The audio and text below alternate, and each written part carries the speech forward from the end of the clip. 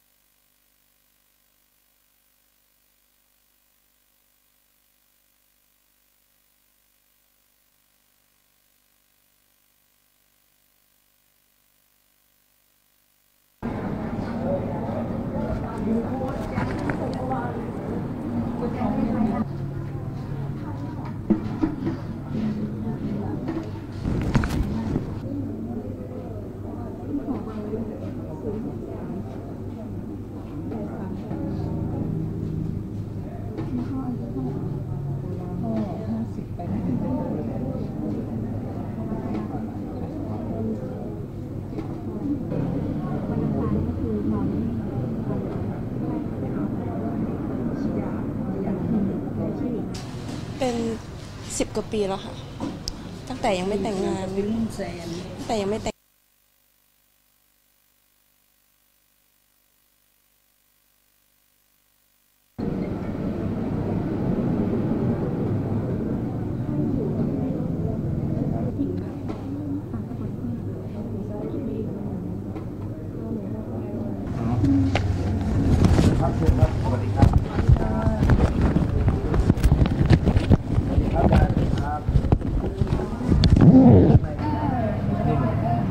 เอ้ยเจ๊นี่หน่อยนี่พี่ลงเรือชื่ออะเดี๋ยวแกมา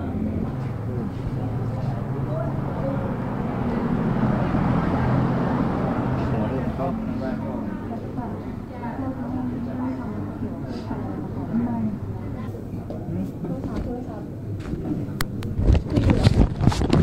เรา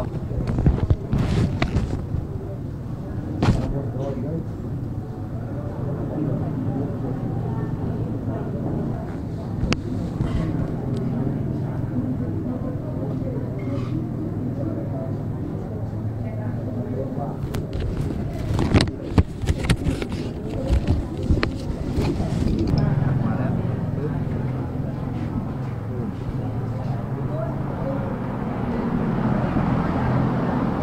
หัวเริ่มเข้า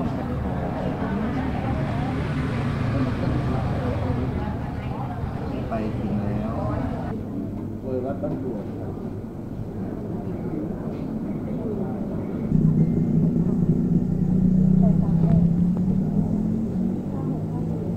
รักเขาหัว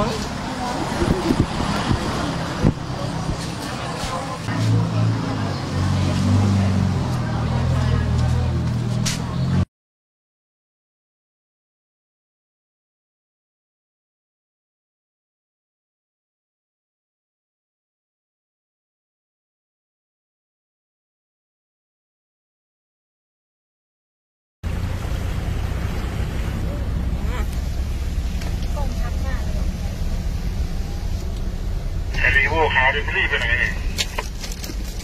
เบียดตรงไหนพี่มอไซค์อยู่ข้างหน้าเจอคลื่นน้ำของมันอันนี้เราไปไปไปนั่งไปรถหรือนั่งเรือคะเรื่องภูมิใจก็ภูมิใจอยู่นะคะ แต่คนเป็นแม่เนาะก็เออดูแลตัวเองบ้างดูแลพ่อเพื่อที่จะได้มีอายุยืนยาวได้ดูแลพ่อบ้าง ไม่หรอกแม่มันต้องช่วยเขา ขับรถไปช่วยเขาก็มีแต่แบบบึ้นไปเนาะวิวอวิวอไปเลยบอกว่า ต้องเซฟชีวิตตัวเองด้วยเด้อลูก ไม่ต้องไปเร็วก็ได้ เขาชนแล้วก็แล้วไม่หรอกแม่แม่ไม่เข้าใจ ถ้าต้องไปช้า เขาอาจจะเสียชีวิตได้ เพราะเขาเสียเลือดมาก เขาเคยเจอเคสที่ไปแล้วช่วยเหลืออะไรเขาไม่ได้ เพราะเขาติดภายใน แล้วสมัยนั้นไม่มีเครื่องตัดทางเนาะหลังจากนั้นมาพอเขาเสียชีวิต ก็ได้มาขอร่วมบริจาคออกช่วยกัน ขอจากพ่อแม่พี่น้องทุกคนเขาโพสต์เนาะก็ได้เงินไปซื้อเครื่องตัดทางรู้สึกว่าเขาดีใจมาก เขาได้เครื่องตัดทางมาเนาะทีนี้ยิ่งไปใหญ่เลย ช่วยทั่วไหนทั่วหนึ่ง ไม่เคยคิดถึงชีวิตเจ้าของในพักได้ผ่อนไหมไม่ไม่เลย ทั้งชีวิตทั้งแต่เป็นเด็กนักเรียนสองตีสามนี่ลูกสาวป้าป้านอน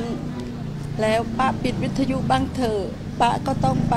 หนูไม่ค่อยอยากให้ป้าออกไป หนูเป็นห่วงป้า ไม่ลูกพอต้องไปช่วยคนชีวิตเขานะลูก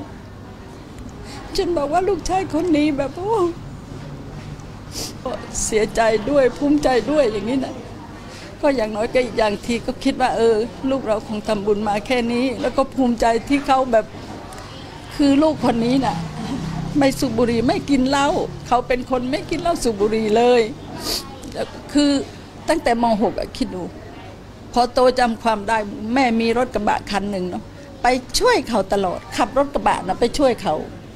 แล้วทำไมถึงรู้จักไปช่วยเขา ตั้งแต่ยังไม่ได้อยู่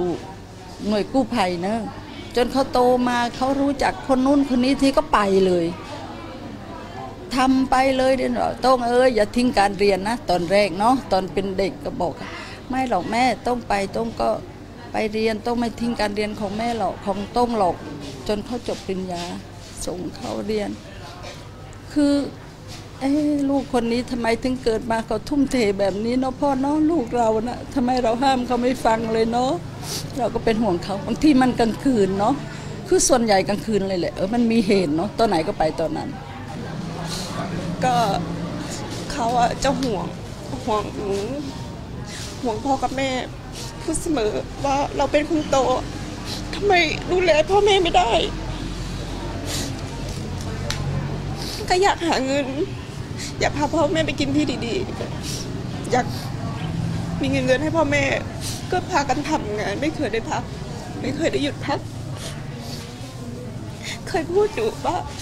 พ่อเป็นไตเงี้ย เราอะจะให้ไตพ่อได้ไหม เขาบอกพ่อไม่เอาหรอก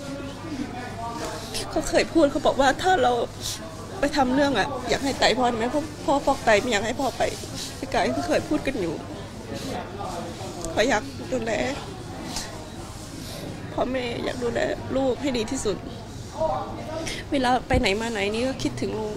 กลับมาก็จะรีบไปรับลูกเลยทำงานเสร็จกลับมาดึกดื่นแค่ไหนก็จะไปรับลูกมานอนด้วย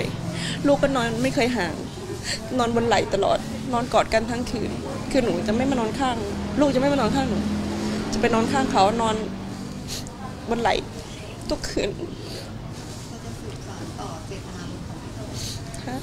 เนี่ยเขาพาลูกไปไหนพาลูกไปด้วย พาไปตัดชุดกู้ภัยพาลูกไปตัดทุกชุดที่มีที่เขาใส่ลูกอะก็ชอบไปด้วย เราก็มันทำไปแล้วมันมีความรู้สึกดีที่ได้ช่วยเหลือคนนะคะ หนูก็ไปด้วยทำด้วยทุกอย่างบริจาคทรัพย์ส่วนตัวซื้อรถ มา อันนี้คันที่สามคือเปลี่ยนมาเรื่อยๆ ซื้อรถแพงอุปกรณ์ดีๆ ให้ผู้ป่วยได้นอน ได้นอนสบาย